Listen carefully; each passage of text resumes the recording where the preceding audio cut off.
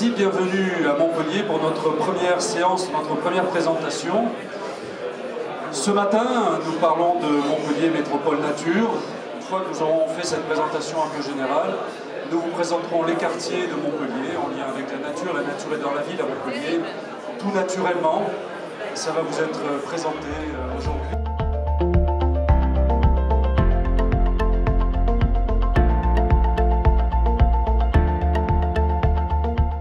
euh, aujourd'hui. cet après-midi à partir de 17h. Donc à 17h, je vous, euh, je vous invite à nous retrouver ici pour vous présenter un certain nombre des quartiers qui prennent en compte cette démarche. Et demain, ça sera la ZAC du Coteau.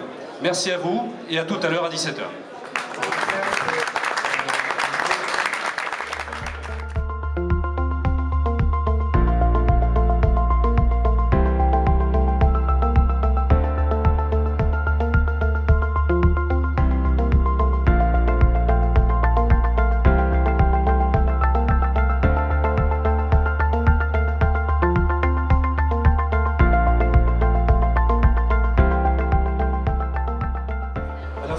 Saint-Lô jusqu'à la mer, ce grand amphithéâtre vert euh, qui reçoit, euh, qui accueille la ville de Montpellier. Où l'eau, à des moments, envahit complètement ce jardin. J'avoue que j'aime beaucoup l'idée de ce jardin qui est à la fois une infrastructure, un lieu où l'on se tient, et où la présence de la nature s'exprime pas seulement par le végétal, mais justement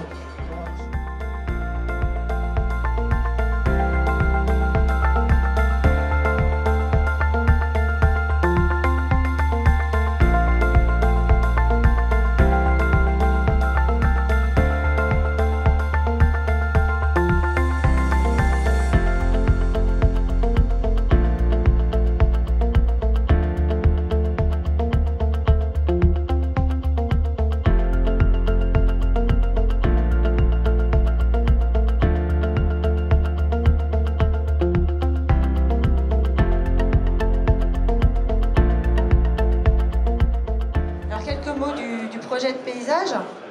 Dans un premier temps, on a choisi vraiment de s'accrocher euh, euh, à l'ambiance singulière des chemins ruraux.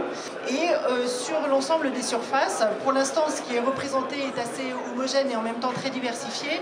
Mais nous allons en fait concentrer l'activité en fait avec la création d'un sol. Je pense que nous avons fait la démonstration pendant ces deux jours. Je vous remercie d'avoir été avec nous. Et puis, bonne suite du MIPIM.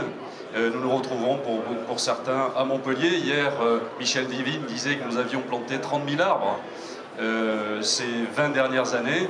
Eh bien, l'action va se déployer très fortement. 1000 arbres vont être plantés dans les 15 jours qui viennent à Montpellier. C'est une action très forte pour nous.